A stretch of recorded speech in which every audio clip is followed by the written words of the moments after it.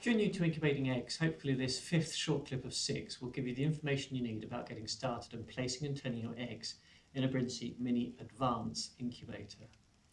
So the Mini Advance incubator will accommodate seven hen eggs of different sizes with a standard seven egg disc. Some larger duck eggs may be too big for the disc and would be best turned manually.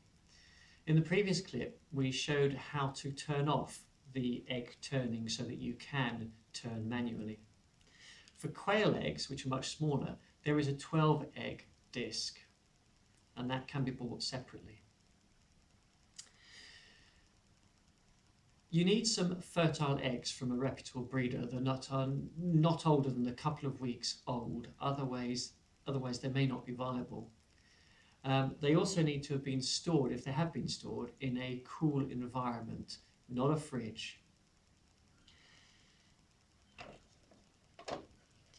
There is some debate as to whether eggs should be turned, but a lot of people prefer to turn their eggs when they are being stored um, a couple of times a day.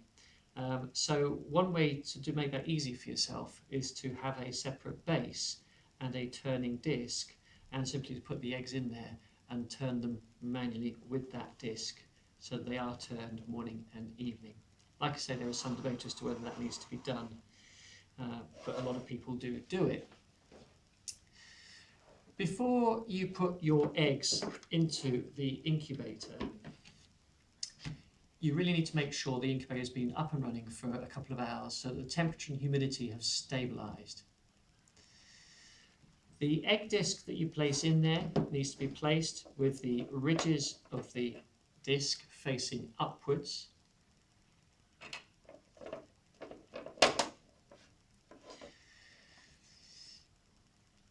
You want the eggs to rotate backwards and forwards between 90 and 120 degrees. So before you put the mini advance to work with the eggs in it, what you probably ought to do, or we recommend you do, is to mark a little X on one side of the shell of the egg and a little naught on the opposite. If I get the camera to pan in, I can show you that in a little bit more detail because I've prepared these in advance.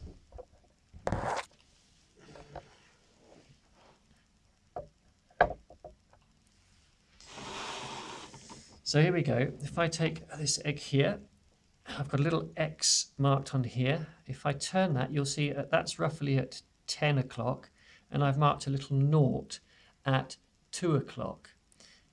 It could be 9 o'clock and 3 o'clock. Um, if you do that, then when you place those eggs into your turning disc, you when it turns, you'll know how far the eggs are being rotated by the disc. And that will allow you to judge whether your turning interval, uh, which you put into your menu, is the right interval. The machine, as we've previously explained in a previous clip, is set at factory settings of five seconds. But by increasing or decreasing that, you can get the eggs turning further or turning less.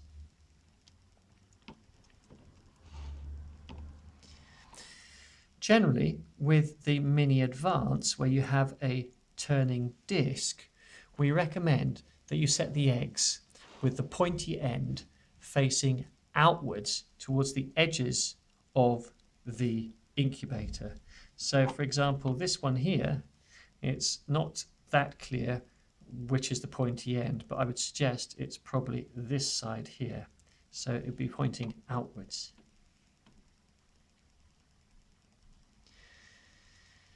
Generally, the slightly bigger eggs are best set with the pointy end facing outwards, and the smaller eggs, especially when you're using one of the small egg discs for 12 eggs, there you really want the well, the recommendation is to put the pointy eggs facing pointy ends facing inwards rather than outwards.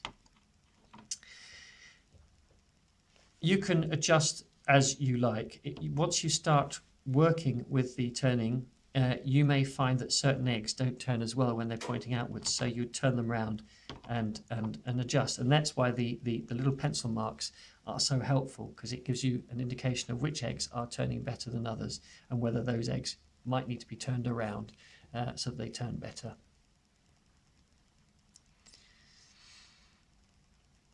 Once you've set the eggs in the incubator,